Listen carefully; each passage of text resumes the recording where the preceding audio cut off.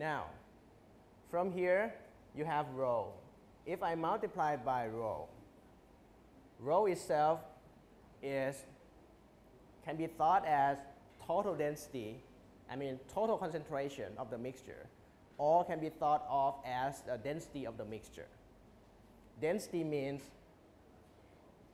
mass of the mixture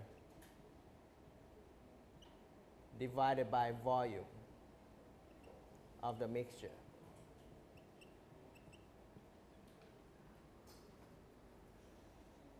Okay? So mass of the mixture and total mass of the mixture, indeed they are the same. They cancel out. So you will have summation of moles of each species multiplied by partial molar enthalpy divided by volume. Mole per volume is molar concentration, right? So this supposed to give you molar concentration of I times H bar I.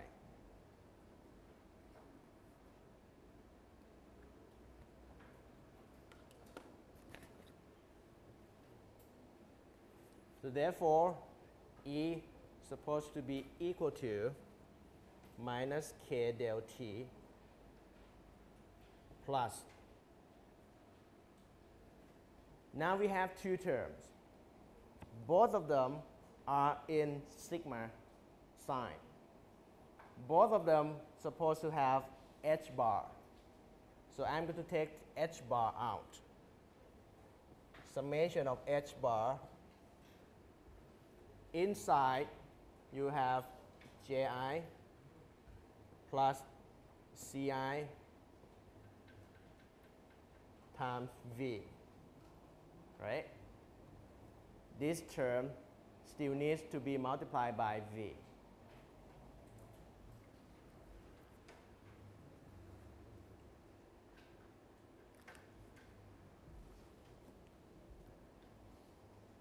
Okay?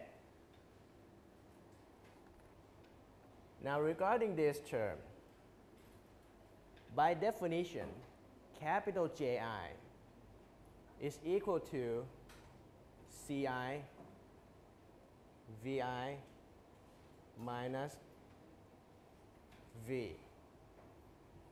Velocity of species I relative to mixture velocity. This mixture velocity is mass average. This is Ji added by CIV, this term. So CIV, CIV here and CIV there cancel out. As a result, you get CIVI, right? Because this term and this term cancel out. This term come from here, there.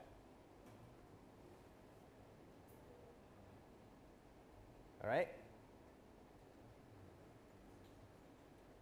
And what is CIVI? Remember, I told you once before we have CIVI, CIV, CV.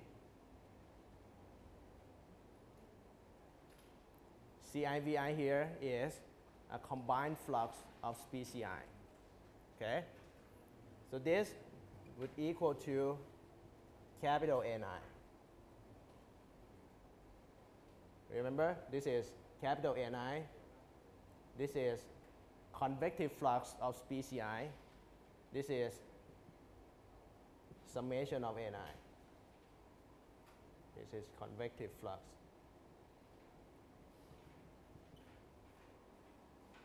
Okay? So at the end,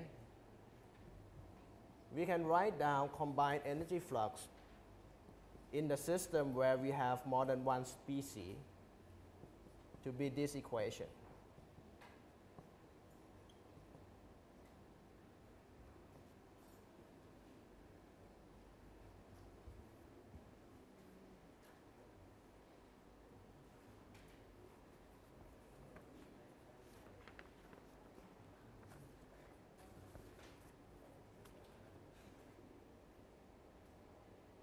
Any question?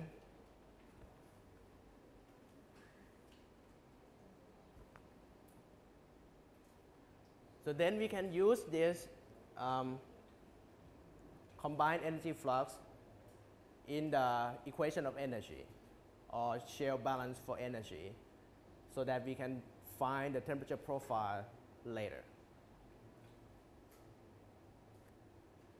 Okay?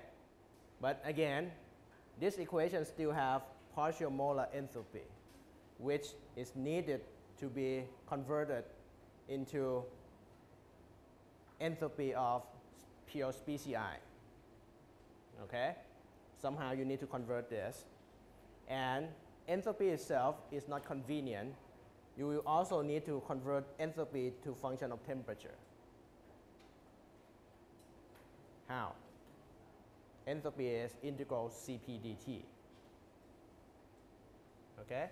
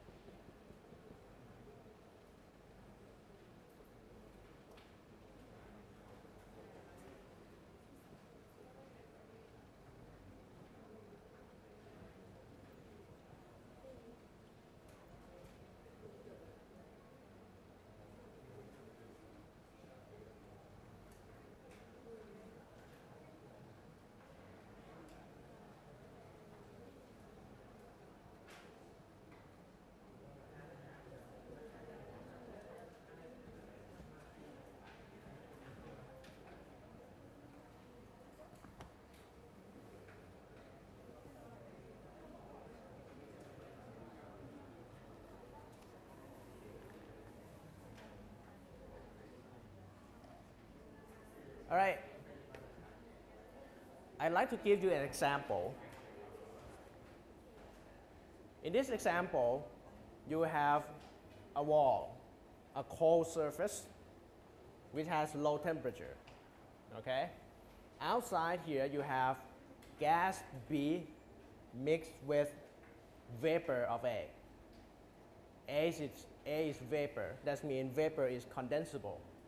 Gas is non-condensable.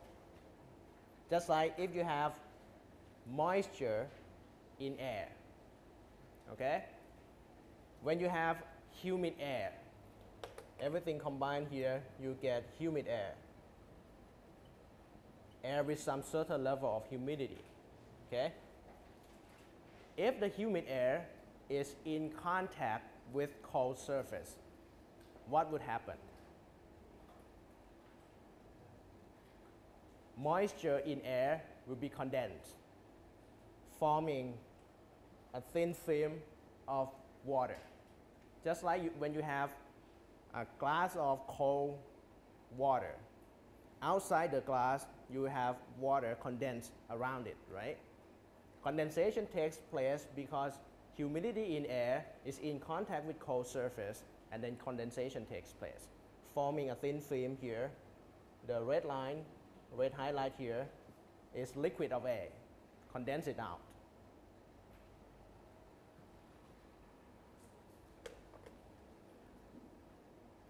Let me ask you this.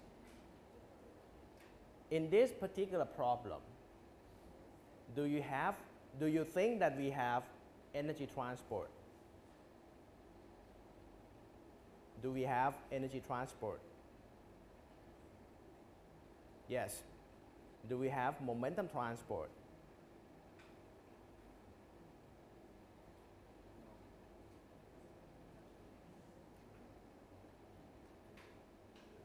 It depends.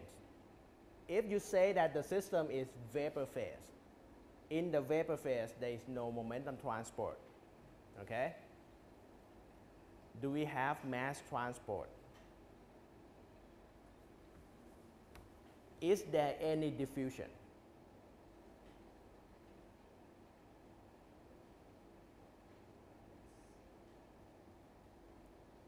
If there is diffusion, it means that in the system here, there are two points at least in the system, whereas concentration are different, right?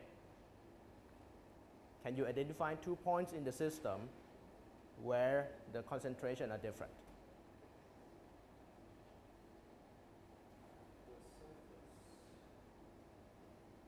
Along this direction, right?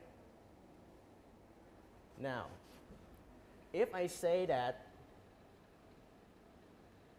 this is y direction, here is y equal to 0, this is y equal to delta. And delta here is the thickness of film resistance. As I said earlier, when we talk about Newton law of cooling, do you remember Newton law of cooling?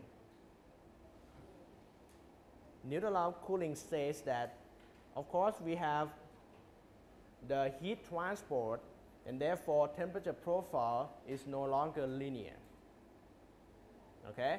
If temperature profile is no longer linear, Newton law of cooling would simplify the, the problem by dividing system into two parts. In the first part, where temperatures change, it is assumed that temperature change linearly, and then outside that, temperature remains constant. So we divide them into two parts, the film resistant part and bulk part. Okay? We can do the same thing for mass transport. In this case, concentration of A varies along y direction. Out here, where it's so far away from the cold surface, concentration of A in vapor is supposed to remain roughly constant. So if you draw the concentration profile, it will be constant around here and then dropped, right? Does it drop or does it go up? Doesn't matter, it's change. Out here is constant, it's called bulk. In here there is a change, it's called film resistance. All right? Now, question is, do you think concentration of A at delta, whether it is greater or smaller than concentration at y equal to 0? Which, where is higher in concentration? Many people would say that concentration here is supposed to be higher because it is in contact with liquid.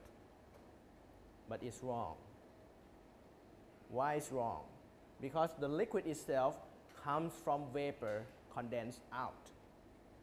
So you have one certain level of humidity in air. That level of humidity would be condensed into liquid. That means the air itself has lower in, in humidity, right? It brings water from vapor phase to liquid phase. Humidity in vapor phase will be reduced. Therefore, water can form here. So concentration would drop like this. Okay?